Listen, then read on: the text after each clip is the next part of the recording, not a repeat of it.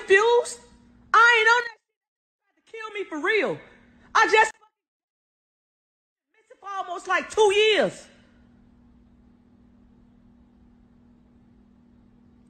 I didn't even know what the fuck I was at.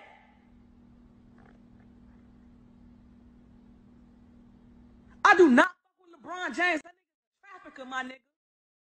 He's a trafficker. He is a trafficker. He trafficked women in real time. That nigga stole all my money out of my bank account.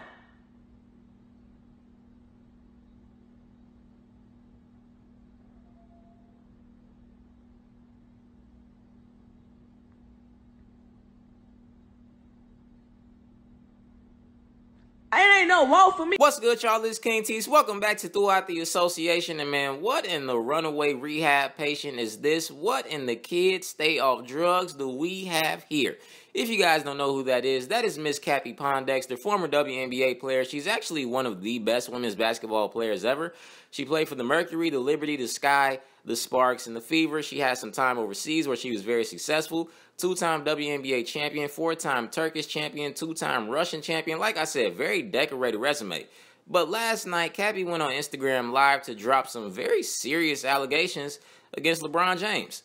Now, I can tell you guys right now, Cappie Pondexter will be receiving an email within 48 hours from Mr. Frederick Nance. If you guys don't know who Frederick Nance is, that is LeBron lawyer. I know from experience because last year I did a video about Bronny, and within 24 hours, I was actually defending Bronny in that video, and within 24 hours, I got an email from Mr. Frederick Nance. So if they were on me about that, I know damn well they about to put Cappie Pondexter in the walls of Jericho for this. Now, I don't think I really need to get into the allegations, do I? I mean, do we really take that serious? I mean, I'm jokingly saying this video, but clearly there is an issue here that she needs to, the WNBA needs to step in immediately and get her some help. Clearly, she needs some help and assistance. If I was LeBron, I would just take this on the chin because clearly this is not a sane person. Now, she has gone missing before to the point that the WNBA had to release a statement about it to help find her. But that was after being arrested for a battery charge, so that was more so running away than actually missing.